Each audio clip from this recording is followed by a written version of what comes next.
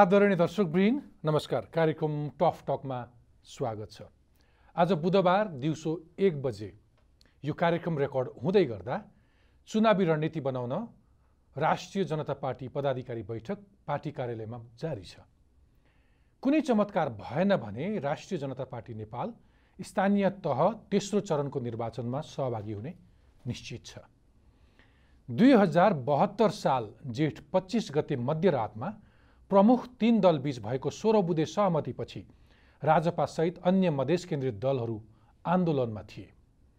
हुन त राजपा नेपाललाई निर्वाचनमा सहभागी गराउन सरकारले पटक पटक स्थानीय तहको निर्वाचनको मिति पनि सार्यो।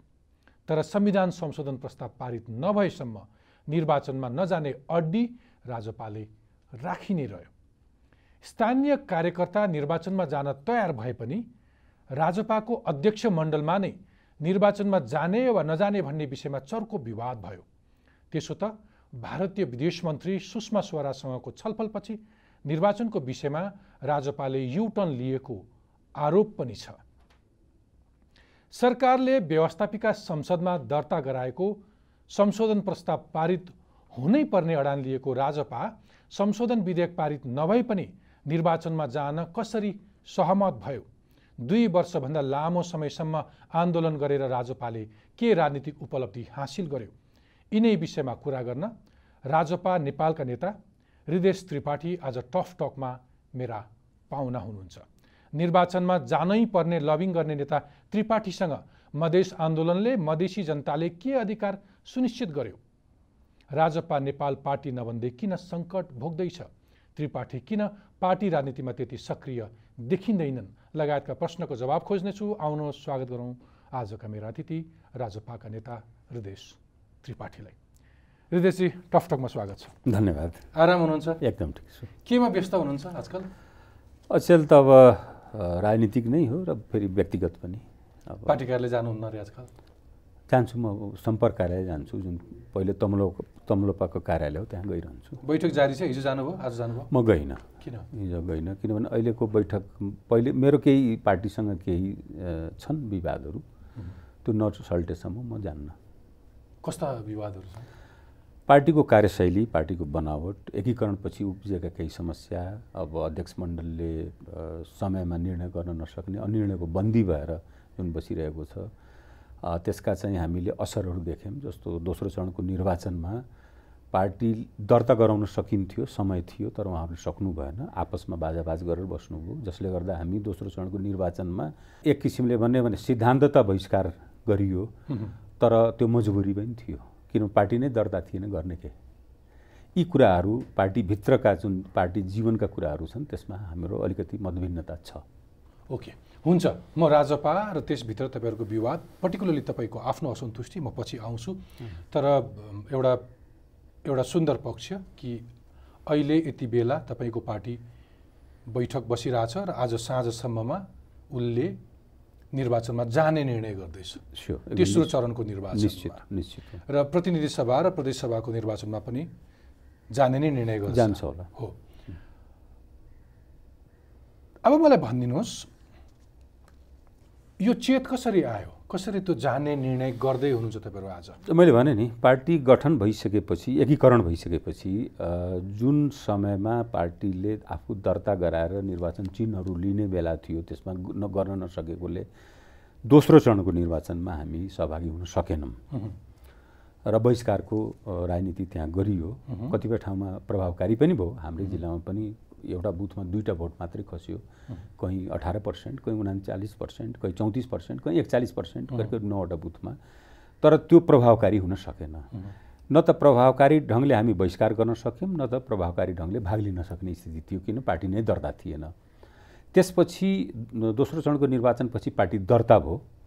दर्ता भइसकेपछि अधिकांश साथीहरूको भनाइ के थियो भने दुई नम्बर प्रदेशमा कि भाग लिनुपर्छ। स्थानीय तहको हाम्रो विवाद छ। स्थानीय तहको बनावटको विषयमा विवाद छ किनभने जनसङ्ख्याले यस यसमा इन्कार गरिएको छ एउटा। अर्को जे अहिले पाठकजी जुन प्रचार भइरहेछ कि सिंहदरबारको अधिकार गाउँमा लगियो त्यो होइन। यथार्थ कुरो के हो भने सिंहदरबारले गाउँलाई पनि कब्जा गरेको छ। किनभने कर्मचारीहरूको खटन पटन नियुक्ति सरुवा बढुवा सबै सिंहदरबारले गर्छ। सबै काम गर्ने सिंहदरबारले नै हो। र जुन निर्वाचित जनप्रतिनिधिहरूको चाहिँ बेहाल के छ भने बिचरा ऐनसम्म पास नहुँदै चुनाव हो। त्यसकारण उहाँहरूलाई आफ्नो काम कर्तव्य अधिकार नै थाहा थिएन र घोषणापत्र जारी गर्नुपर्ने र वचनबद्धता प्रकट गर्नुपर्ने बाध्यता थियो। अहिले आएर सरकारले विभिन्न आदेशहरू जारी गर्दै उहाँहरूको निर्णयहरूलाई खारिज गरिरहेको गरिरहेको छ। त्यसले गर्दाखेरि जुन यो प्रचार हो मिथ हो वास्तवमा यो यो कल्पनै हो यो चाहिँ भने भ्रम हो कि सिंहदरबारको अधिकार गाउँसम्म म पुग्यो अहिले त्यतापट्टि यो तपाईँको धारणामा म गइनँ। मैले तपाईँको प्रश्न के मात्रै हो भने यति समय गुज्रिसकिएपछि यति लामो मधेस आन्दोलन भयो तपाईँहरू यति लामो अड्डी लिइरहँदाखेरि यो यो अहिले चाहिँ यो चेत यो जानु नै थियो भने आज बल्ल किन जानु पर्थ्यो? म स्वागत गरिरहेको छु तपाईँहरूको निर्णय। चुनावमा जान सबैले स्वागत गर्छन् नै। तर यो चेत अहिले कसरी आयो? अनि यो चेत त त्यस बेला पनि थियो। तर के हो भने अकर्मण्यताले गर्दा पार्टी दर्ता हुन सकेको होइन। पहिले पार्टी वैशाख सात गते एकीकरण भयो र त्यस तुरन्तै पार्टी दर्तामा गएर अगाडि बढेको भए मलाई लाग्छ दोस्रो चरणको निर्वाचन पहिलो चरणमा जान गाह्रो थियो। दोस्रो चरणको निर्वाचनमा पार्टी जान सक्थ्यो। तपाईँहरू आफ्नै आन्तरिक कारण आफ्नै अकर्मणीयताका कारण पनि मुलुकलाई एकदम लड्काइरहनु भएको एकदम। सही कुरो के भने एउटा आफ्नो कारण। अब त्यसलाई सैद्धान्तिक जामा के भने अब बहिष्कार गर्नु बाहेक अरू विकल्पै थिएन। त्यस कारणले बहिष्कारको नारा पार्टीले अगाडि सार्यो।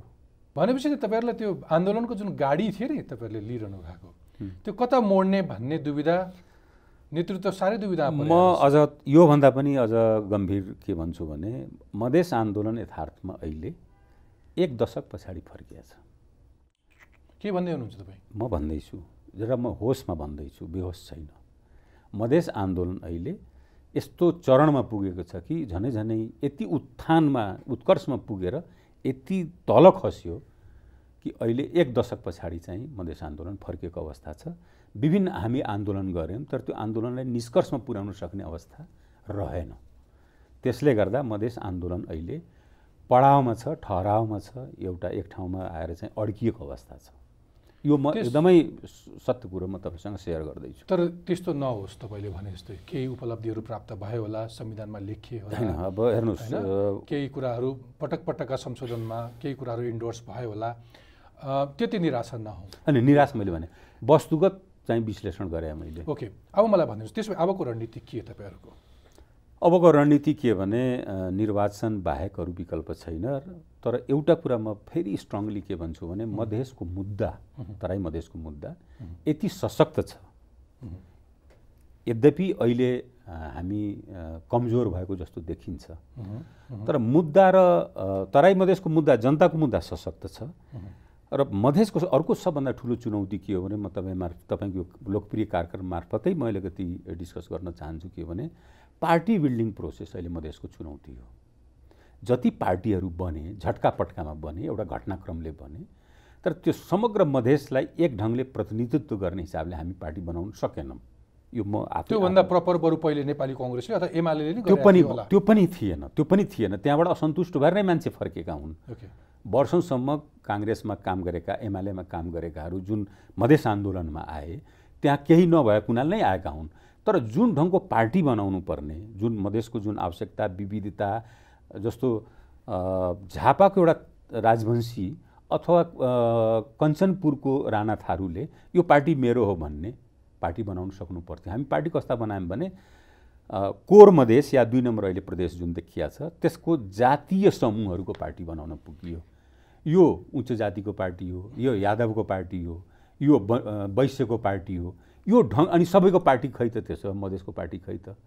भन्ने हिसाबले त्यस कारण मलाई के लाग्छ त्यसो भए तपाईँहरूलाई जुन एक किसिमको साम्प्रदायिकता अथवा साह्रै सङ्कुचन हुनुभयो भनेर क्षेत्रीयताको जुन किसिमको आरोप लाग्यो नि ठिकै रहेछ होइन? यो क्षेत्री- तप- क्षेत्रीयता तपाईँहरू त आफै पनि त्यो कोठरीमा अथवा एउटा सीमाबाट निस्किन सकिरहनु भएको। यो आन्दोलन त क्षेत्रीय आन्दोलन नै हो। म त गर्वका साथ भन्छु यो क्षेत्रीय आन्दोलन नै हो हेर्नुहोस्।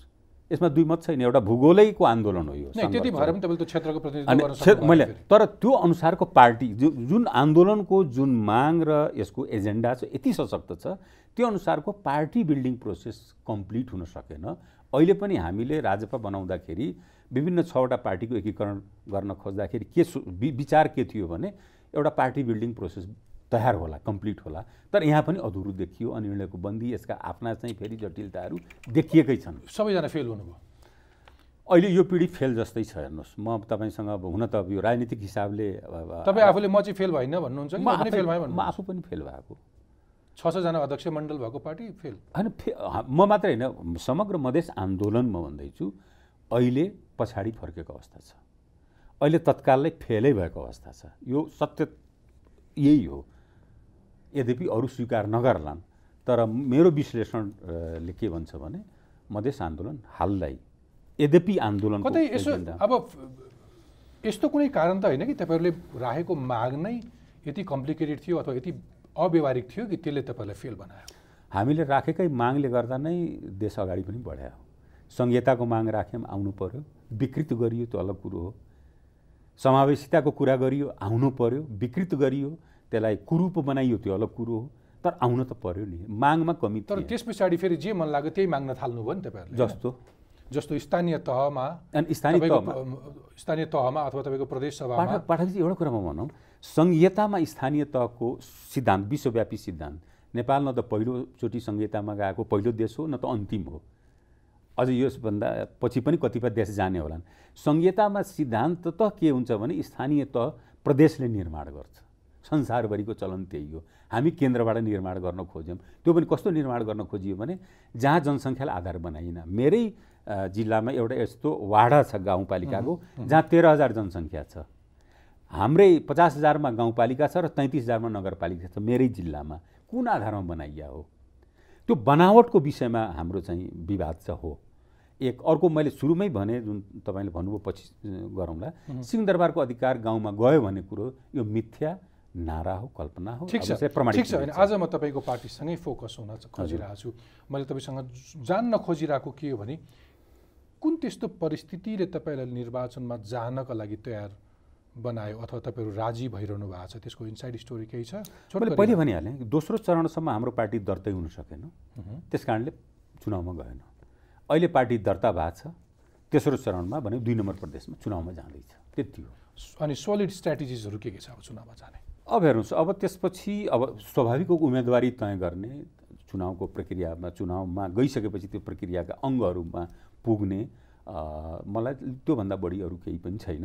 एउटा एउटा चाहिँ अलिकति सस्तो नारा के दिन खोजिया छ भने संसदबाट राजीनामा गरेर चुनावमा जाउँ भनेर एक थरी साथीहरूको भनाइ छ। त्यसमा दम मैले देखिरहेको छैन। त्यसमा वैचारिक इमान्दारिता छैन।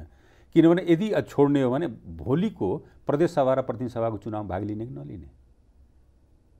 अहिले छोड्ने भने के कारणले छोड्ने? भाग लिने पनि किन लिने भने?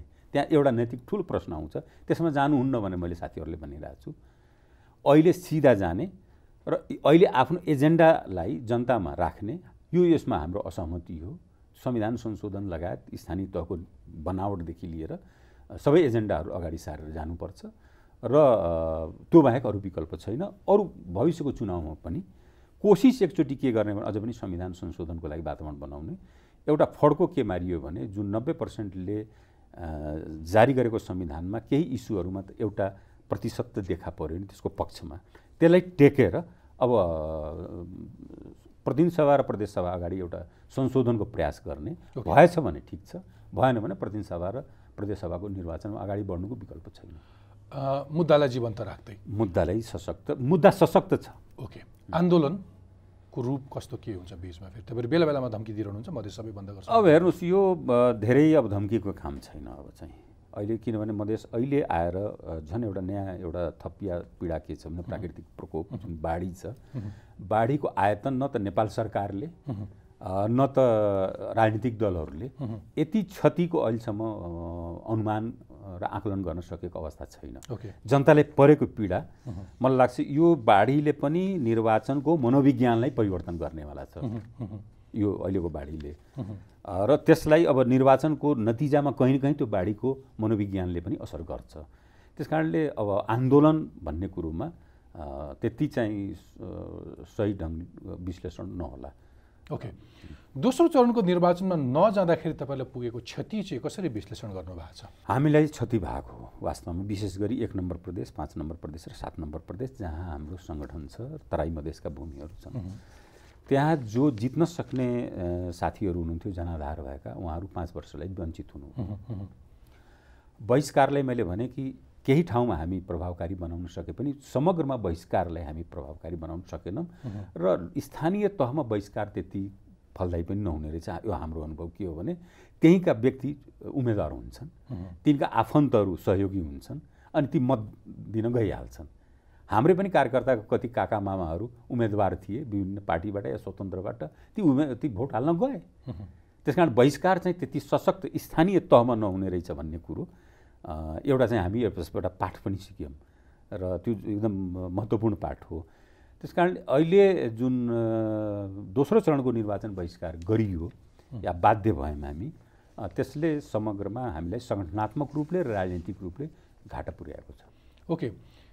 अब अब यो पटक जाँदाखेरि चाहिँ जनताको मत जित्ने सम्भावना कति छ? कसरी जस्टिफाई गर्दै हुनुहुन्छ? जस्तो अस्तिसम्म एमाले संविधान संशोधनको प्रस्तावमा नहुँदा नहुँदै पनि तपाईँहरूले जबरजस्ती एक किसिमको बालहट देखाउनु भयो अहिले लोकलाई नै लाज हुने गरी त्यो एउटा विधेयक प्रस्तुत गरे जस्तो अनि थाहा पाउँदा थाहा पाउँदै कुनै सङ्ख्या पुग्दैन भन्ने थाहा पाउँदा थाहा पाउँदै प्रस्तुत अलिअलि नाटक छ नि मलाई के लागेको छ भने? अलिकति अर्कै ढङ्गले हेर्नुपर्ने भयो। यो यो प्रस्ताव कसको हो? सरकारको? हाम्रो त होइन सरकारले आफ्नो प्रस्ताव प्रस्तुत गर्ने र पारित गर्ने पारित गराउने कोसिस त सरकारले गर्ने हो। बडा सिम्पल मैले संसदीय परिपाटीमा बसेको मान्छेको हिसाबले म भन्दैछु। हो। प्रस्ताव चाहिँ सरकारको आरोप हामीमाथि। फेल भयो भने तपाईँ। तपाईँ संसदीय परि- परिपाटी परिपाटीमा बसेका मान्छे त्यत्रो त्यत्रो माहिर तपाईँ अहिलेदेखि हुनुहुन्न संसदमा। उस बेलादेखि हुनुहुन्छ। त फेरि यो यो यो नाटक जबरजस्ती किन नाटक- सङ्ख्याले निर्धारण गर्छ। नै सङ्ख्याले निर्धारण गर्छ भन्ने त तपाईँलाई थाहा छ. होइन ठिक छ। तपाईँहरू जबरजस्ती किन गर्नुहुन्छ हामीले जबरजस्ती गरे। यहीँ यहीँनिर कुरा के छ जबरजस्ती अब दुईवटा हामी बिर्सिन्छौँ। पहिलेको सरकारले एउटा प्रस्ताव ल्याएको थियो। त्यो सर त्यो प्रस्ताव चाहिँ संविधान संशोधनको प्रस्ताव फिर्ता गर्यो। आफै गर्यो। आफ्नो कारणले गर्यो। अर्को प्रस्ताव त्यसले विकल्पमा ल्यायो र उसले के गर्यो भने तिन सय समथिङ जुन एउटा झन्डै झन्डै दुई तिहाईको नजिकमा यो सरकारले मत पाएको आधारमा शेरबहादुर सरकारले मत पाएको आधारमा उसलाई एउटा आँट के आयो भने हामीले सङ्ख्या जुटाउन सक्छौँ भनेर। ओके। घटनाक्रम के भयो भने राप्रपा नेपाल त्यसबेला भनौँ केही सांसदहरू अनुपस्थित हुनु र अहिले पनि फेरि राप्रपा एउटा कारण बन्न पुग्यो विभाजनले गर्दाखेरि। अब त्यो बिचको जुन घटनाक्रम हो त्यसले गर्दाखेरि तर संसदीय व्यवस्थामा हामीले के बुझ्नुपर्छ भने प्रस्ताव सरकारको हो पारित गराउने जिम्मेवारी पनि सरकारको हो। हाम्रो माग हो र त्यसमा त्यो प्रस्तावमा हाम्रा भावनाहरू समेटिएका छन् यो चाहिँ सही हो। एमाले पहिलेदेखि भन्दै थियो कि पक्षमा छैन उसले यो पनि प्रमाणित गर्न के सकेन भने यो राष्ट्रघाती हो भनेर। ओके। अब अब मैले अथवा मेरो दर्शकलाई लागिरह होला कि यो अहिलेको रियलाइजेसन अलिकति अगाडि भइदिया भए कमसे कम यो यो अस्थिरता अथवा यो यो गतिहीन राजनीतिले अलिकति अगाडि भए पनि गति लिन्थ्यो अथवा निर्वाचन अलिकति समयमा हुन्थ्यो भन्ने आम मान्छेलाई लागिरह होला। भलै तपाईँ बिचमा चुनावमा जानुपर्छ भन्ने पक्षधर हुनुहुन्थ्यो नै। अरू के के फ्याक्टरहरू थियो जसले तपाईँहरूलाई आजसम्म अड्काइरहेको थियो? केही फ्याक्टर थिएन। मेन हाम्रो एकीकरण भइसकेपछि जुन उत्पन्न परिस्थिति हाम्रो परिस्थिति हो त्यसले ए, हामीले अप्ठ्यारोमा पार्या हो एक किसिमले। जहाँसम्म आन्दोलनको प्रयास आन्दोलन पनि भयो आन्दोलनमा ले एजेन्डाहरूलाई अलिकति मुखरित पनि गराए मलाई लाग्छ त्यो नगरेको भए त जुन ढङ्गको संविधान र जे स्पिरिटमा बनेको हो त्यो त्यसका चाहिँ निर्माताहरू काङ्ग्रेस एमाले माओवादी तिनवटा पार्टीले केही पनि नबुझिकन अगाडि बढिरहन्थे एक। दोस्रो कुरो के भने हेर्नुहोस् म संविधानको विषयमा पनि के भन्छु भने संविधानमा असङ्ख्य विकृतिहरू छन्। हाम्रो विषय छोडिदिउँ। संविधान कार्यान्वयन गर्नलाई पनि त्यहाँ अन्तर्विरोधहरू थुप्रै छन्। यो संविधानले जनप्रतिनिधिमूलक संस्थालाई बलियो बनाएको छैन कि? अहिलेकै संविधान कार्यान्वयन गर्ने हो भने या त यो राष्ट्रपति कहाँ पुग्छ बाधा अड्काउ फुकाउन या सर्वोच्चमा जान्छ व्याख्या गराउनको लागि। यति अन्तर्विरोधीहरू जो अहिले साथीहरू आफैले पनि भन्नुहुन्छ कि अन्तर्विरोध छ। अब एउटा हट के छ भने संविधान संशोधन गर्नु हुँदैन किनभने हामीले लेखेको हाम्रो चाहिँ कपिराइट हाम्रो छ सर्वाधिकार त्यो कहाँ छ? कसले भनेको छ? तिनटै दलको छ त्यो चाहिँ। अहिले संविधान संशोधनमा जुन देखियो कब्जियत हो एउटा कारण त्यो पनि किन हामी सडचालिस सालको संविधानको हेर्दाखेरि के भयो भने कमा फुल स्टप चेन्ज गर्नुहुन्न है भन्दा भन्दै संविधानको अवसान भयो कोही मलामी जान पाएनन्। अहिले अहिले पनि त्यही मनोविज्ञान छ। ठिक छ। अहिले पनि त्यही मनोविज्ञान छ। ठिक छ। अबको चुनावमा तपाईँहरू जाँदाखेरि के चुनाव चिन्ह लिएर जाँदै हुनुहुन्छ? चुनाव चिन्ह छाता साथीहरूले क्लेम गरिराख्नु भएको छ तर मलाई के लाग्छ भने सर्वोच्चमा त्यो विवादमा छ। पहिले क्लेम गरेका कोही व्यक्तिले क्लेम गर्नुभएको छ र सर्वोच्चमा जानुभएको छ। बुद्धिमानी के हुन्छ भने छवटा राज जुन दलहरू एकीकृत भए यी मध्येका कुनै एउटा चिन्ह लिएर जाँदा उपयुक्त हुन्छ। तर त्यसमा पनि तपाईँहरूको ठुलो हानथाप छ होइन? लडाइँ छ? अब त्यो सबैको के हुन्छ भने आफ्नो चिन्ह यसमा मनाउन पाए हुन्थ्यो भन्ने कहीँ न कहीँ त्यो एउटा बडा सङ्कुचित मनोविज्ञान सङ्कीर्ण मनोविज्ञानले काम गरिरहेछ। प्रश्न के हो भने यी छवटा दलमा कुन चाहिँ चिन्हले बढी मत पाएको थियो गएको संविधान सभाको चुनावमा त्यसैबाट आकलन गरे भइहाल्यो नि। ओके। चिन्ह आफैले मत ल्याउने होइन। त्यसो गर्दा चाहिँ होइन। त्यसो गर्दा चाहिँ तपाईँको पार्टीले पाउनु पऱ्यो त्यो जरुरी छैन मैले भन्न खोजेँ। तर त्यसलाई पनि आधार त मान्न सकियो नि। हाम्रो पार्टीले ल अथवा बुझ्ने गरी भन्दैछु अघिल्लो पटक सबैभन्दा बढी कुन पार्टी हाम्रो पार्टीको हाम्रो- तमलो पार्टीलाई। तमलोपा तपाईँको पार्टीको। के चिन्ह? हाम्रो चाहिँ जोडा गोरु। जोर गोरु जोर गोरु। हल गोरुको चिन्हले सो त्यही परोस् तपाईँको त्यो। जरुरी छैन किनभने त्यस त्यसले हामीले के मर्कामा पऱ्यो भने गाई चिन्हले धेरै हामीले ड्यामेज गरे हो तर यस्तो होला नि फेरि राम्रो मत ल्याउनु होला तर कदम कदाचित तपाईँले राम्रो मत ल्याउनु भएन भने फेरि तपाईँको अरू अप्ठ्यारो पर्छ पार्टीमा अरू- मतभेद बढ्न सक्छ नि फेरि। अनि मतभेद भन्दा पनि चिन्ह एउटा लिने हो छवटा मध्ये एउटा लिने हो।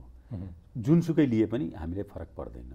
म त्यसमा चाहिँ धेरै अब यो दोष अब यो स्थानीय तहको तेस्रो चरणको निर्वाचनमा तपाईँहरूले जति मत प्राप्त गरे पनि अथवा नगरे पनि त्यसले तपाईँहरूको मानसिकतामा केही असर पर्छ? कि प्रदेशसभा र प्रतिनिधि सभाको निर्वाचनमा जाने या नजाने अथवा अर्को कुनै अड्को थाप्ने अथवा हामीले स्वीकारिसक्यौँ अब हामी चुनावमा गयौँ भन्ने निष्कर्ष हो के हो ठ्याक्कै? मैले सुरुमै भने एकचोटि हामी प्रयास के गर्छौँ भने निर्वाच के अरे संविधान संशोधनको एउटा प्रयास गर्न कोसिस गर्छौँ।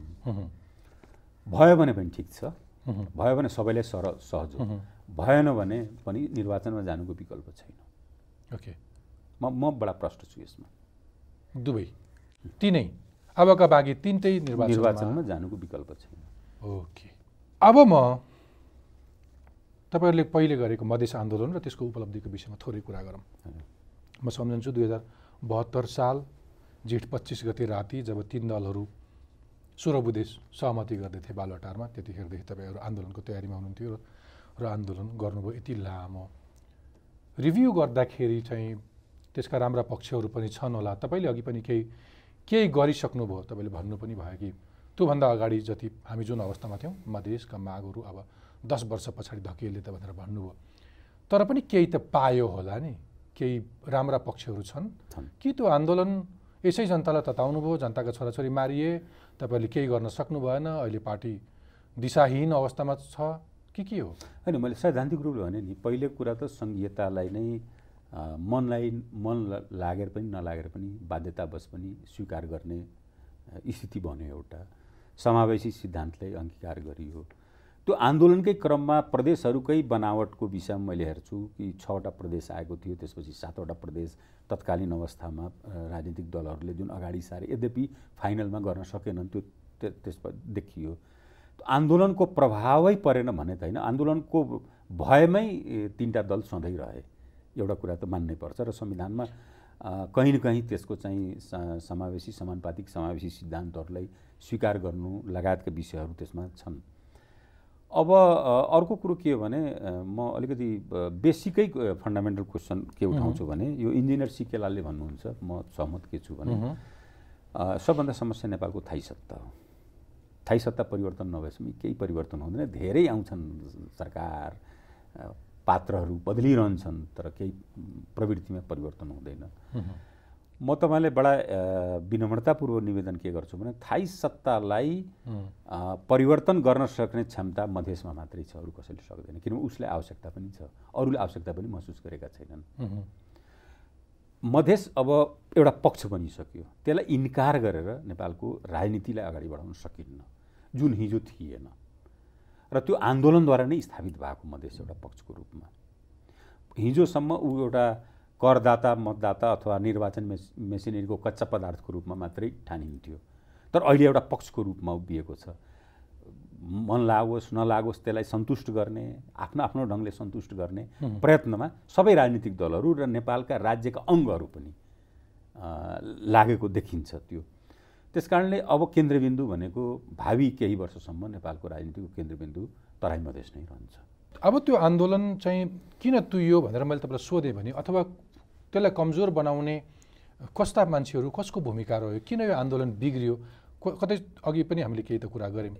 केही रणनीतिक त हामी राजनीतिक दल र हामी राजनीतिक नेताहरूकै दोष हो यस यसमा। मान्नुपर्छ हेर्नुहोस् हामी हाँक्न सकेनौँ सही ढङ्गले। हामी अति उत्साहित हुने नेपालको समस्या के छ भने जुन राजनीतिक नेतृत्व नेताहरूको हातमा भन्दा व्यवस्थापकहरूको हातमा छ र मधेस आन्दोलनको पनि त्यही हो। नेताभन्दा पनि व्यवस्थापनको हातमा देशकै पनि त्यही हालत छ। मधेसको त झन्नै छ। अनि व्यवस्थापकको एउटा समस्या के हुन्छ भने उसले म्यानेज गर्न सक्यो भने मात्तिन्छ सकेन भने आत्तिन्छ। त्यसो भए मैले बिना सिद्धि मधेसी दाजुभाइलाई उचालेर पचास पचासजनाको ज्यान गयो। त्यत्रो मधेस आन्दोलन भयो। त्यो लामो आन्दोलनमा आम जनताले चाहिँ नाकाबन्दी र अरू शास्ति मात्रै पाए भनेर भने भने त्यो गलत भनाइ हुन्छ। किन मधेस आन्दोलनको जुन मधेस आन्दोलन मधेसी जनतामा छ कि? मधेसी जनतामा त्यो आन्दोलन बढी भयो भने काङ्ग्रेसबाट पनि छोडेर मान्छे आउँछन् एमालेबाट पनि छोडेर आउँछन्। त्यहाँ कमजोर भयो भने फेरि फर्किन्छन् काज फिर्ता हुन्छ। रियालिटी त्यो हो। मधेस आन्दोलनको वाहक भनेको मधेसी जनता हुन्। र ती आवाज ती माग ती एजेन्डाहरू मधेसी जनताको एजेन्डा हुन्। राजनीतिक मैले सुरुमै भने कि राजनीतिक दल मधेसको जुन मागको गम्भीरता छ जति सशक्त छ त्यो अनुसारको राजनीतिक दल हामीले निर्माण गर्न सक्छौँ। मेरो प्रश्न के हो भने तपाईँहरू आन्दोलनमा अस्ति हुँदाखेरि जुन चर्को स्वरमा शैली हेऱ्यो भने भलै संविधानमा केही कुराहरू स्पष्ट लेखिँदा लेखिँदै पनि तपाईँहरूले यो भएन त्यो भएन भनेर भन्नुभएको थियो। यसरी तिनका छोराछोरी मारिया छन्। अब चुनावमा जाँदाखेरि पनि भनेर पनि हामी भन्नुभयो। अब- फर्केर जानु त पर्छ तीमा जनतालाई त भेट्नुपर्छ। ती परिवारलाई। हामीले- त्यहाँका नागरिकलाई भेट्दाखेरि चुनाव माग्ने कसरी? सुन्नुहोस् जुन हिजो पनि थिएन जुन हामीले भनेका थियौँ त्यो अझ वास्तवमा छैन त्यो के छैन भन्नुहुन्छ? होइन प्रदेशको बनावट एउटा कुरा भन्नुहोस् त। प्रदेशको बनावटको सिद्धान्त जुन हामीले अङ्गीकार गऱ्यौँ दुईवटा। त्यो अनुसारको प्रदेश बनावट बन्यो र र यो अहिले आएको संविधानमा लेखिएको प्रदेशको बनावट कुन समितिमा र कुन संविधान सभामा छलफल भएको छ? यो त तिन पार्टीका महावैज्ञानिकहरू बस्नुभयो पहिले छवटा प्रदेशको रेखा बनाउनु भयो आन्दोलन भयो सातवटा प्रदेश उहाँले थपिदिनु भयो। र यसको बनावट हेर्दाखेरि के भयो भने सातवटा प्रदेशमा अब खस आर्य भन्दाखेरि अन्यथा नलिनु होला। खस आर्य त अब संवैधानिक भाषा हो। एउटी संविधानमा कसैको व्याख्या छ भने खस आर्यको मात्रै छ अरू कसैको छैन। मधेसी आदिवासी जनजातिको व्याख्या चाहिँ छैन है। खस आर्य भन्दा बाहुन छेत्री दशनामी ठकुरी जनाउँछ भन्ने कुरो संविधानमा छ। अब बरु भनिनु भने संविधान विरोधी भइएला भन्ने डर। त्यस कारण अब खस आर्य भन्दाखेरि रिसाउनु पर्ने संवैधानिक मान्यता अनुसार मैले भनिरहेको छु। छवटा सातवटा प्रदेशमध्ये छवटा प्रदेश खस आर्यको बाहुल्यतालाई सुनिश्चित गर्ने हिसाबले बनाइएको छ। एउटा समस्या के भयो भने अब हामी विविधताको देश हो यसलाई स्वीकार गर्नै पर्छ। होइन यो चारतिर जाने भन्दा नि मेरो प्रश्न के हो भने तपाईँसँग होइन त्यस कारण अब अब तपाईँले त्यो मधेसी जनतालाई के भन्नुहुन्छ? के भनेर माग्ने भोट योपालि जाँदाखेरि? कस्तो के भनेर भने अब हा- एजेन्डा मैले अस्ति त। उचालेर आउनु भएको मधेसी जनताको एजेन्डा मधेसी जनता हामीभन्दा सशक्त छन् भन्ने कुरो मैले बुझाउनै सकिरहेको छैन। पार्टीहरू जान्छन् नेताहरू जान्छन् नेताहरू पलायन पनि होलान् नेताहरू सक नसक्ने पनि होलान् तर त्यो जनतामा स्थापित एजेन्डा हो। अहिले पनि यसको एउटा म उदाहरण दिन्छु। जुन ठुलो भन्दा आउँदा पार्टीहरूले ज जब उम्मेदवारी दिन थाले किन आँट गर्न सकेनन् अरूलाई उम्मेदवार बनाउन? कहीँ न कहीँ तिनमा पनि त्यो सोच छ नि। के चाहिँ? मधेसी नै उठायो भन्ने कुरा? एक्ज्याक्टली पहिलेदेखि होइन उठाउँदैन थिए होइन। पञ्चायतकालमा थियो छे छ्यालिस सालदेखि सडचालिस सालदेखि त म त सधैँ छु नि। तपाईँको आनन्द ढुङ्गानादेखि लिएर सबै संसदहरूको बनावट हेर्दाखेरि तपाईँको सत साठी पर्सेन्ट चाहिँ गैर मधेसीहरू मधेसबाट चाहिँ चुनाव जितेर आउँथे। तपाईँ अडचालिस एकाउन्न छप्पन्नको डाटा हेर्नुहोस् म त डाटा अनुसार कुरा गरिरहेको छु। अहिले स्थानीयमा जाँदाखेरि त्यो प्रभाव के हो भने थारू बाहुल्य क्षेत्रमा सबैले थारू थारू दिने थारू त जित्ने नै भयो त्यहाँ। मधेसी बाहुल्य क्षेत्रमा मधेसी मधेसी दिने। अब आँट गर्न सक्दैनन्। यो यो चाहिँ स्वीकार नगर्ने मौखिक स्वीकार नगर्ने कुरामा स्वीकार नगर्ने तर व्यवहारमा चाहिँ लागु सबैले गर्न बाध्य भएको स्थिति त हो नि त्यहाँ। यो प्रतिनिधित्व उसको आफ्नो प्रतिनिधि उसैले गर्नुपर्छ भन्ने कुरो त व्यवहारमा पनि। तर त्यो क्यारेक्टर त तपाईँको आम कुनै पनि पार्टीमा जो जसले दाम ल्याउँछ जो जित्न सक्छ त्यसैलाई जिताउने त अर्को ठिक छ। एकदम एकदम सही प्रश्न उठाउनु भयो र म एउटा कुरा के भन्छु भने अहिलेको निर्वाचन प्रणालीमा पहिलो चरणको निर्वाचन प्रणालीको एउटा विश्लेषण के आयो भने तिस पर्सेन्ट कारोबारीहरूले जिते। हो। राजनीतिक व्यक्तिले जितेनन्। ती बोर्डिङ स्कुल चलाउने ठेक्का पट्टा गर्ने व्यवसाय गर्नेहरू जिते। भनेको अर्थ के हुन्छ भने अब स्थानीय त बिस्तारै पैसा जसले पैसा खर्च गर्न सकिरहेछ र पैसा जसको हातमा छ व्यवसायीहरूको हातमा जाँदैछ।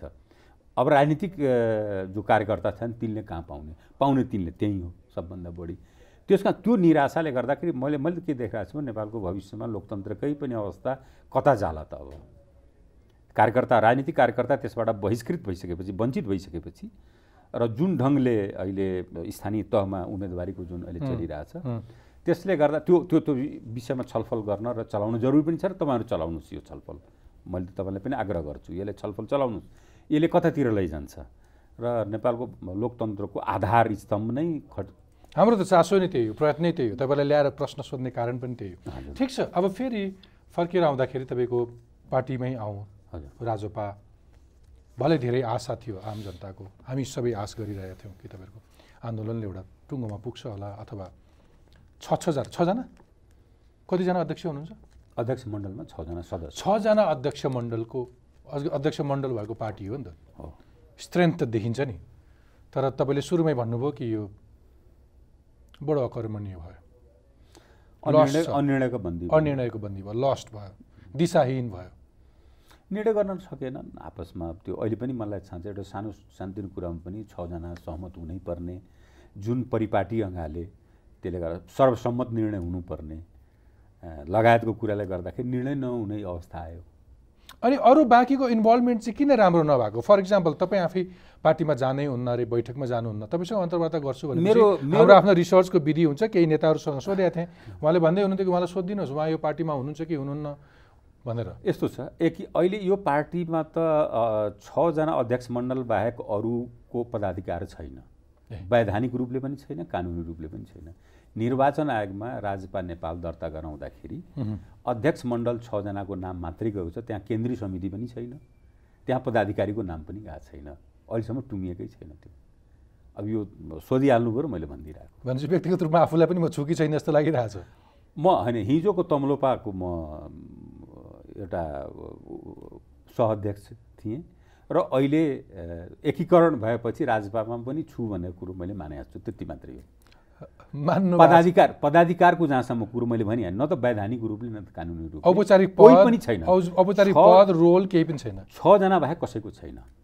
छजना बाहेक कसैको छैन। अनि ती छजना कस्ता कस्ता छन्? तपाईँलाई आपत्ति त्यही हो कि तपाईँ यति धेरै होइन, निराशा। अथवा अलिक धेरै चित्त दुखाइरहनु। भएको चाहिँ होइन। सब जुनियरहरू आए त्यो यस्तो भन्ने पनि हो। यस्तो भयो। छजना त एउटा एउटा पार्टी सञ्चालन गरेर बसेका थिए। एकीकरण गर्दाखेरि अध्यक्ष मण्डल उहाँहरूलाई सुनिश्चित र सुरक्षित नगरेको भए उहाँहरू एकीकरणमा नआउने।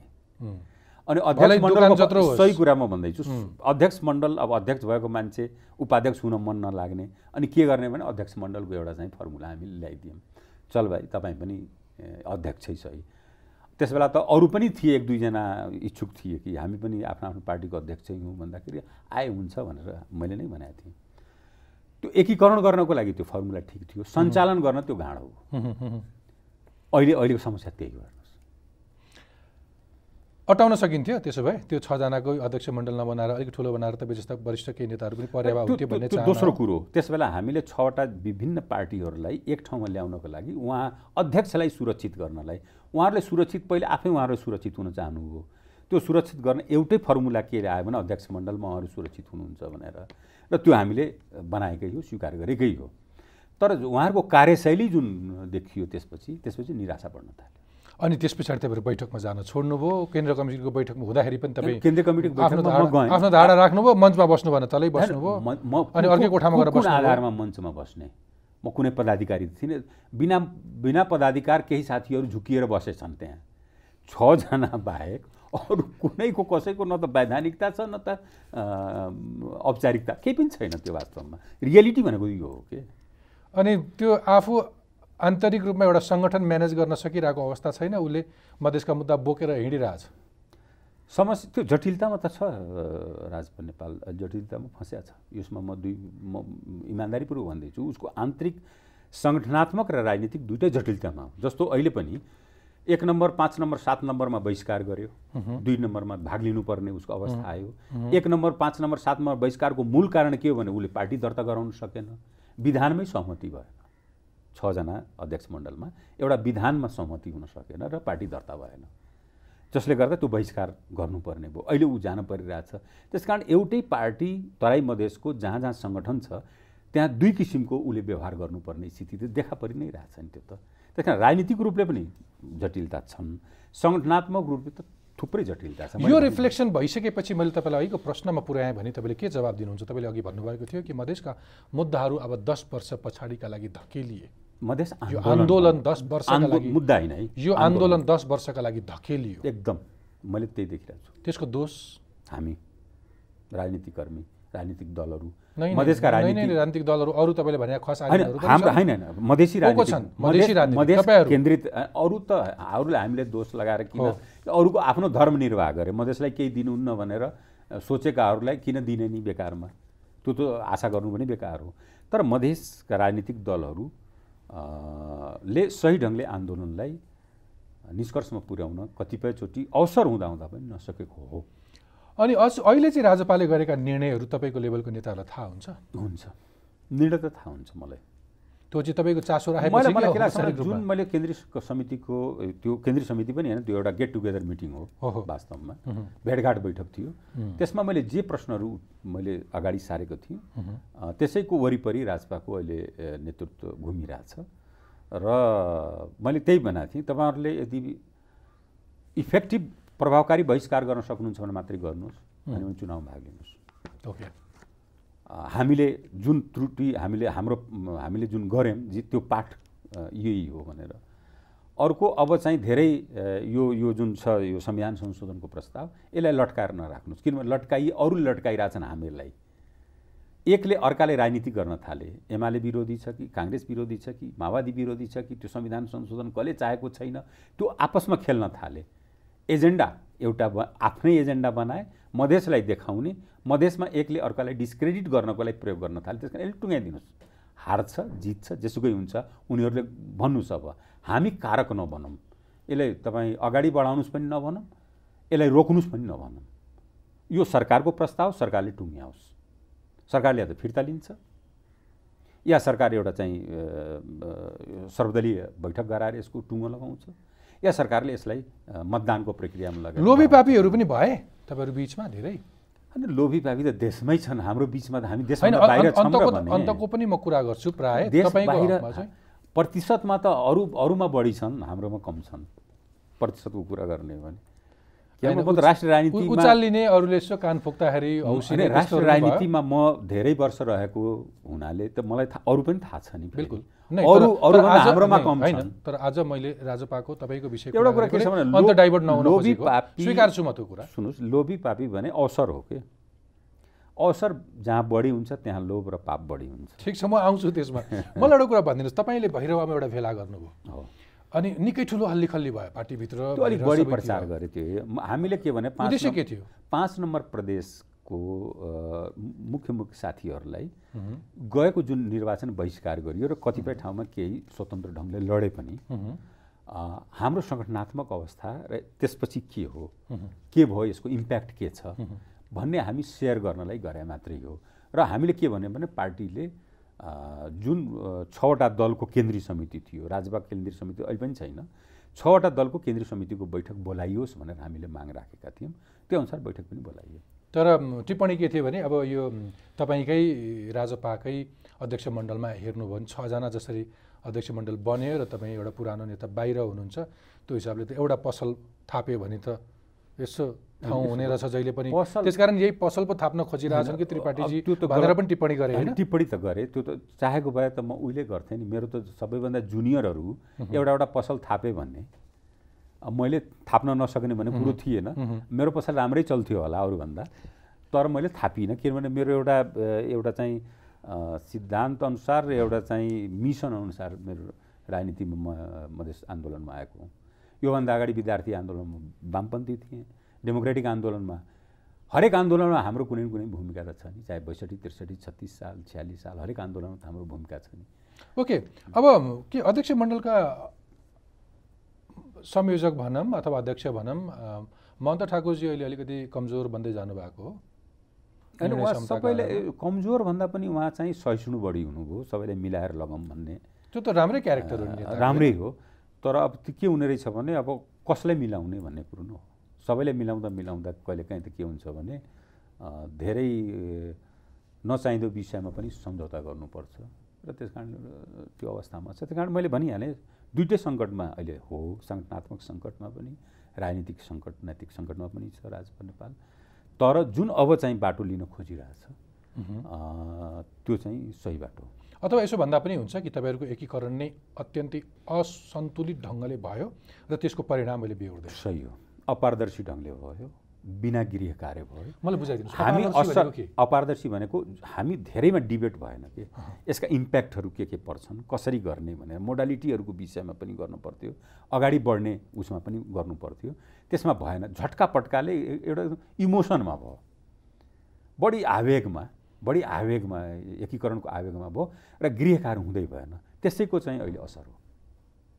सप्तरी घटना भयो। त्यो धेरै भयो। धेरै मान्छेहरू मारिए।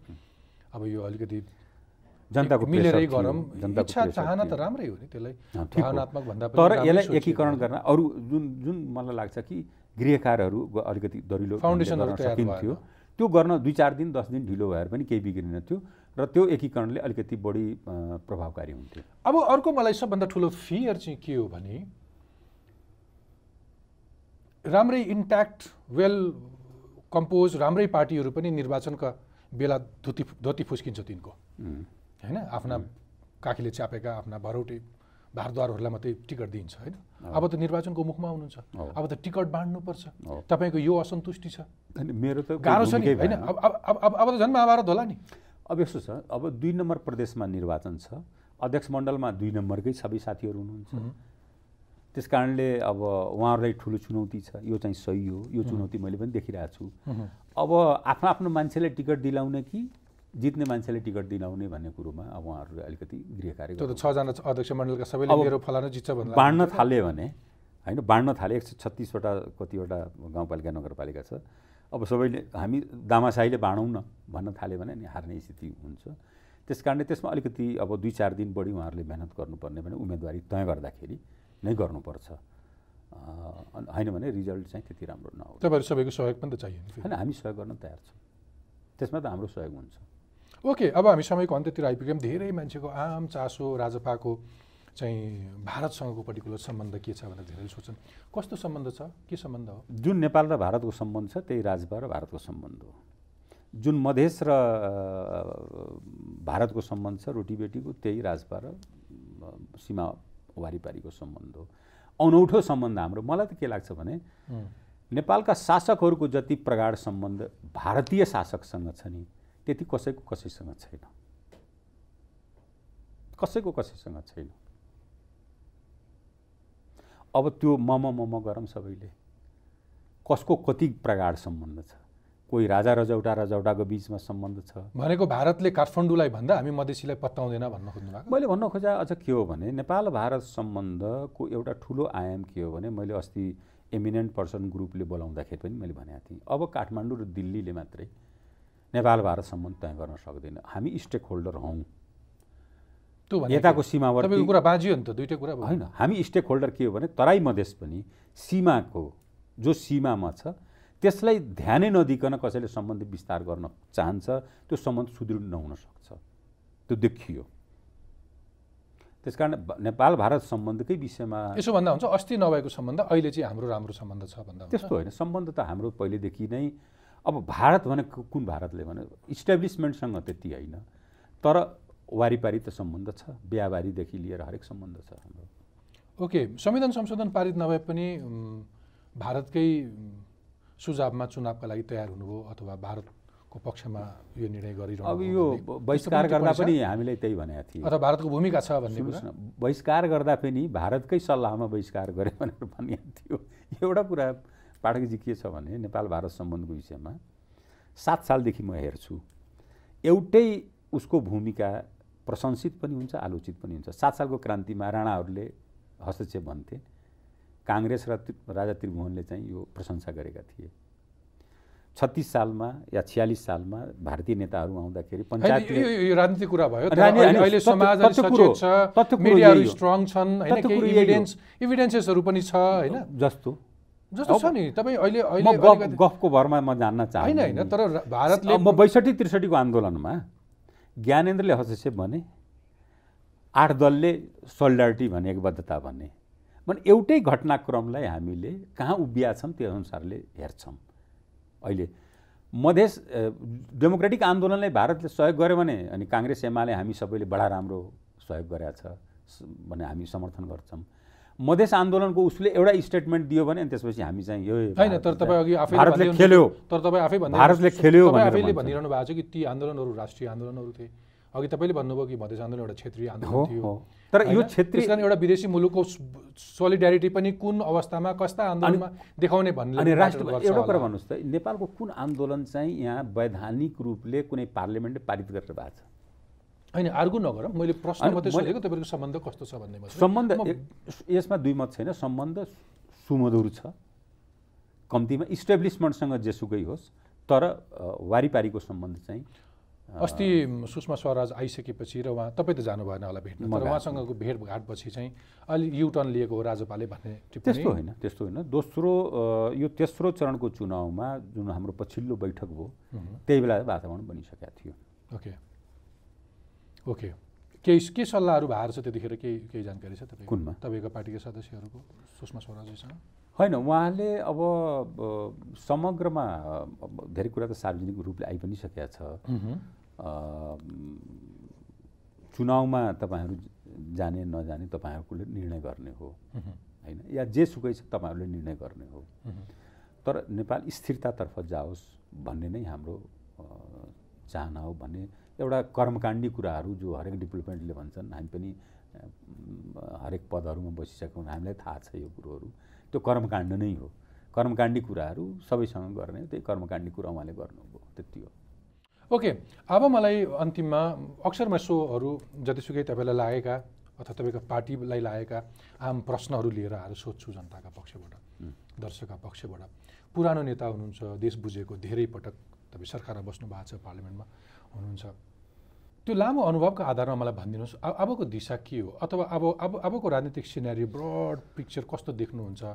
पाठकजी म एउटा ठिक पछिल्लो समय त तपाईँलाई दोष दिन्छन् नै। अथवा त्यो त्यो मुद्दा तपाईँले कसैले प्रशंसा पनि गर्छन्। ठिक छ, ठिक छ। होइन यो राजनीति हो। एउटा कुरा म के भन्छु भने मैले यो संविधानलाई हेर्दाखेरि जुन निर्वाचन प्रणाली हामीले अप्नाएका छौँ एक थरीले नारा लगाउँछन् चुनाव भएपछि हामी स्टेबिलिटीतर्फ जान्छौँ। मलाई लाग्दैन। किन निर्वाचन प्रणाली यस्तो छ कि स्टेबल गभर्मेन्ट बन्दैन। अनि स्टेबिलिटीतर्फ हामी जाँदैनौँ। एक।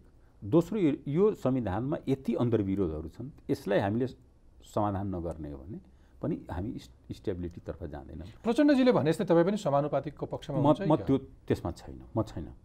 म म होइन राष्ट्रपति प्रत्यक्ष राष्ट्रपतिको पक्षमा उहाँहरू अहिले आउनु भएको छ।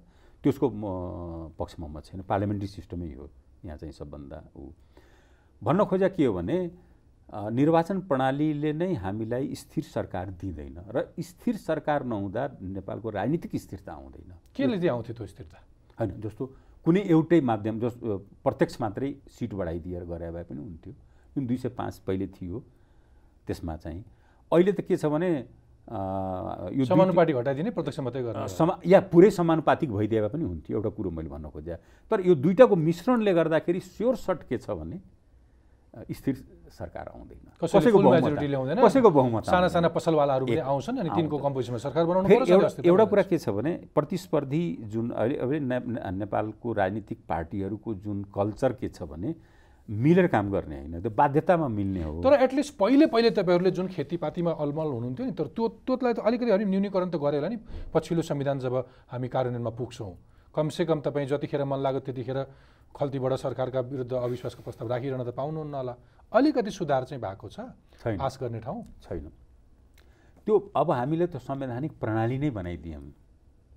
सबभन्दा अप्ठ्यारो हेर्नु होला हामी तपाईँ पनि। सकारात्मक चाहिँ के देखिनु देख्नुहुन्छ? त्यो चाहिँ भनिदिनुहोस् न। होइन सकारात्मक त अब माघ सातभित्र दुइटा चुनाव हुन्छ? चुनाव त हुनैपर्छ तपाईँहरू बाधक बन्नुहुन्न? बन्दैनौँ। बन्दैनौँ हामी बन्दैनौँ। हुन्छ। हृदेश त्रिपाठीजी तपाईँसँग तपाईँको महत्त्वपूर्ण समय र विचारका लागि ल धन्यवाद चाहिँ